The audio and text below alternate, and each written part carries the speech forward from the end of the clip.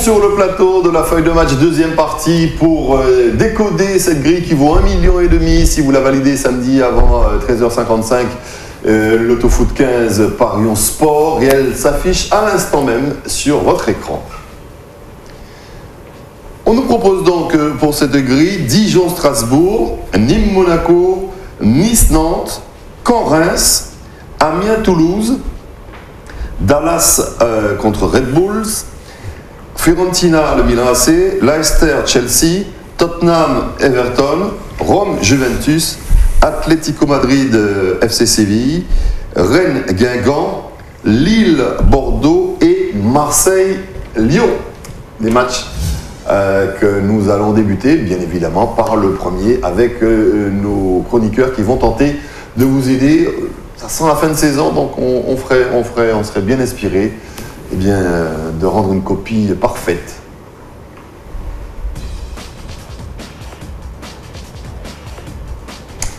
Et Bruno, là, peut-on espérer euh, ben, que, Dijon... Euh, avec l'énergie du désespoir, fasse quelque chose? Mais ils n'ont plus le choix. C'est le match à la maison à prendre s'ils veulent avoir quelques espérances, parce que là, ils sont bien mal embarqués.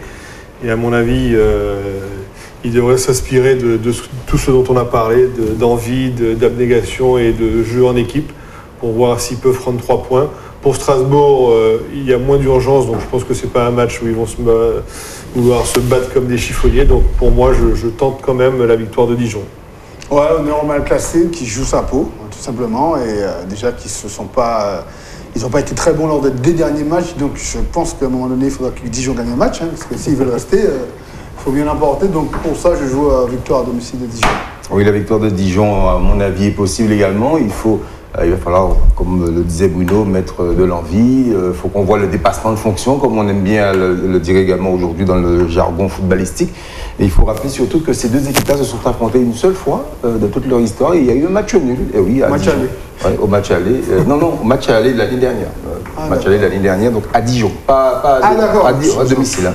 Je parle bien à domicile. Donc il y a eu un match nul un partout. Donc Strasbourg est capable d'aller chercher un point également, de ne pas l'oublier, à Dijon. Bon, pour moi, je vois la victoire de Dijon, mais également un match nul.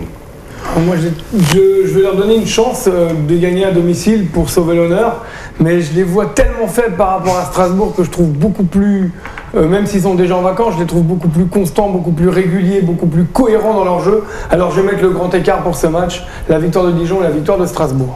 Merci messieurs, on va, on va muscler notre jeu, mais on va aussi euh, aller vite, en hein. une touche de balle. Allez, on joue en une touche de balle, match numéro 2. Touche de balle. Ronnie, Nîmes qui reçoit Monaco. Compliqué, mais euh, Monaco a besoin de points, là aussi, attention. Euh, on parle du retour de Thierry Henry. Euh, sur ah bah écoute, c'est vrai bah, ils sont encore ah, ah, les mecs, Ils ne savent vraiment pas quoi faire. Mais c'est une blague. Ah, Monaco qui sera, à mon avis, bousculé à Nîmes, mais Nîmes n'a plus gagné depuis la saison 78-79 face à Monaco. Moi, je vois bien les Monégasques l'emporter parce qu'ils ont tout simplement besoin de ces trois points. Ça va être un vrai bordel entre deux équipes qui jouent en rouge et blanc. Donc, s'ils décident tous de jouer en rouge et blanc pour reconnaître ton coéquipier, ton adversaire, peut y avoir des buts contre son camp. À nouveau, le grand écart, le 1, euh, la victoire de Nîmes ou la victoire de Monaco. Aussi, grand écart. C'est un match où si Monaco a besoin de points et Nîmes, c'est costaud, Costia, donc euh, grand écart. Le N ou, le, ou la victoire à l'extérieur parce que Monaco a plus besoin de points que Nîmes. Nîmes sera un beau poil à gratter sur ce match, sachant que Monaco n'est pas terrible non plus. Mais le, le N ou le 2. Eh oui, on l'a dit, la situation de l'ASM sans Nîmes. Match numéro 3. Snorri. Ah, nice peut a encore un petit espoir de faire quelque chose et de gratter un hypothétique impossible place européenne, mais avec euh, ce dont on parlait en off tout à l'heure, suivant celui qui gagnera la C3, il y a peut-être une place qui peut se libérer. En tout cas, Nice a fait une saison correcte malgré un effectif sacrément dégraissé. Une ou deux belles découvertes, notamment Atal sur l'aile, euh, qui est un très bon joueur. Euh, de l'autre côté, Nantes est sur une bonne dynamique avec aucune défaite en 5 matchs et pas mal de belles victoires contre des gros, ou des gros un peu moins gros. donc la victoire de Nice avec un petit 1-0 ou le match nul signé Patrice D'autant que euh, il a, il a, rajoute, il a euh, prolonger son Prolonger son contrat, euh, Dante. Oui, c'est ça, avec, euh, avec les, les Niçois. Maintenant, Nantes n'a gagné qu'une seule fois à Nice de, au cours des- de ses dix derniers déplacements, il ne faut pas l'oublier. Il y a eu 37 réceptions, 37 matchs à, à Nice. Nice a gagné 13 fois, concédé 17 matchs nuls et 7 défaites. La grosse stat, c'est que Nantes reste sur une série quand même de 5 victoires Ah, consécutives ah, en championnat. victoires consécutives. cinq victoires Énorme. En championnat. Mais moi, je vais m'arrêter au milieu. Je, j'opte pour le match nul. Moi aussi, euh, à une touche de balle, je dirais que je, vois, je ressens bien un match nul. Moi, je joue la victoire niçoise parce que Nantes a beau gagner 5 matchs. Bon, ils ne sont pas devenus géniaux en 5 matchs non plus. Donc, euh, Nice une belle fin de saison. Je joue Nice. Eh oui, on va retrouver une- autre équipe qui est plutôt en caca-coq euh, dans ce championnat, qui joue sa survie.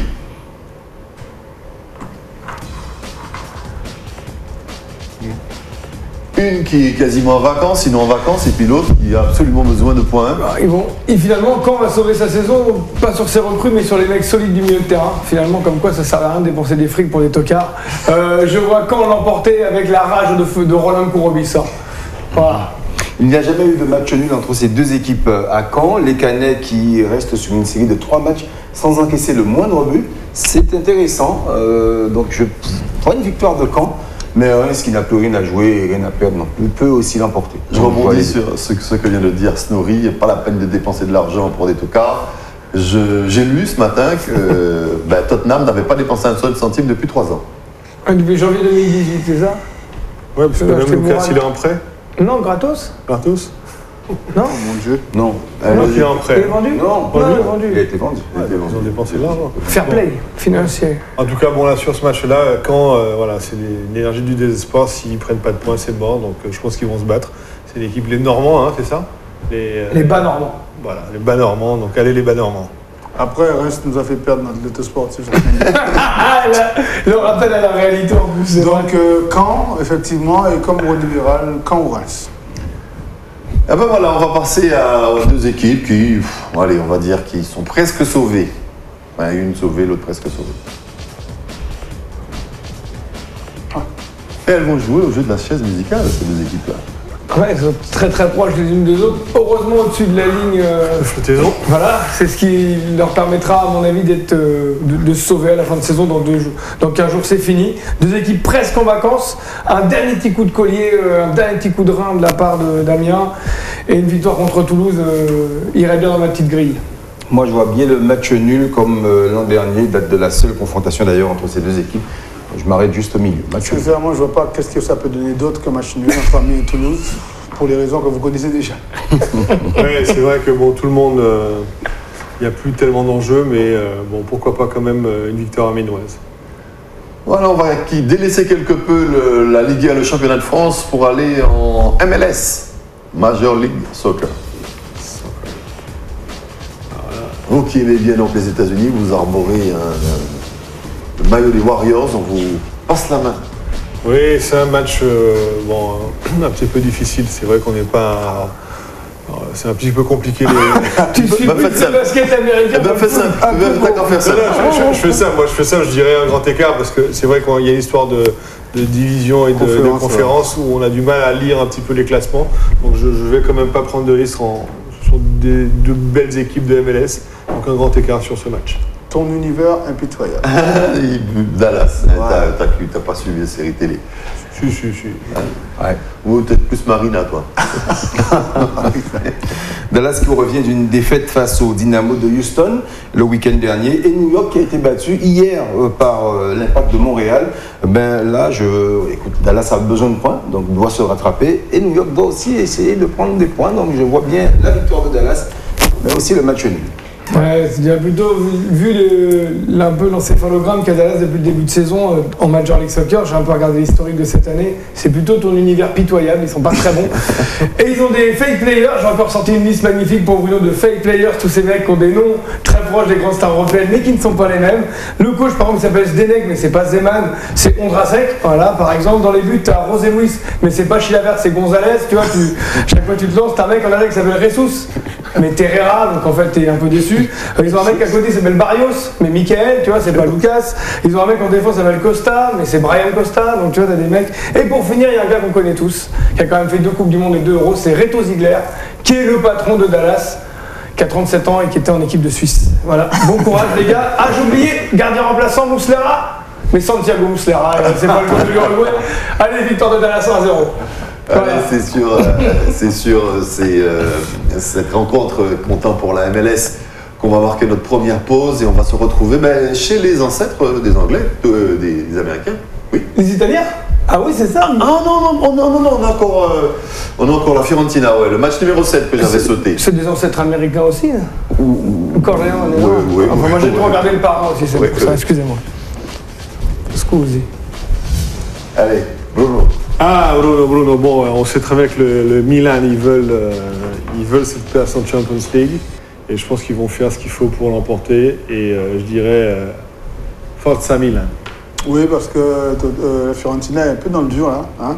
Donc euh, Milan AC doit gagner et ça s'imposera. Vous faites peu de le dire, hein, un, peu de- un peu dans le dur. C'est 11 matchs sans victoire et 3 défaites consécutives pour la Fiorentina.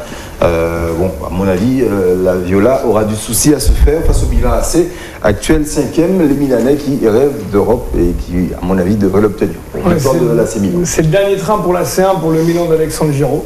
Euh, de l'autre côté, la Fiorentina qui m'épate, ils sont pas très bons, mais ils vont encore recruter français. Vous avez vu, ils sont déjà sur Oudin, qui pour nous est un joueur euh, plus ou moins lambda de Ligue 1. Et ben, ils sont déjà dessus, ils aiment bien encore prendre des joueurs français pas terribles, c'est leur style. Bon courage, les derniers qu'on fait ça, c'était Newcastle en Angleterre. Oui, Rappelez-vous comment ça a fini. Si j'étais eux, je ferais attention. Il y a eu Voilà. Doncaster aussi. Hum Il y a eu Doncaster aussi. oui, donc Caster aussi, tu vois, donc comme quoi, faut faire Ah, attention en c'est achetant. Corleone ou c'est Avec Don Castel la division. On va choisir. Non, Milan, Milan. Pascal Chimbonda, ah, Pascal Chimbonda. Voilà, donc euh, juste, Putain, on a cité Pascal Chimbonda dans cette équipe, quand va se retrouver tout à l'heure, je le disais, euh, avec les ancêtres des, Anglais, on se retrouve, des Américains, on se retrouve en Angleterre tout à l'heure, pour la deuxième partie de cette grille qui vaut 1,5 million, 1 million 500 000 euros, si vous la validez samedi avant 13h55. À tout de suite.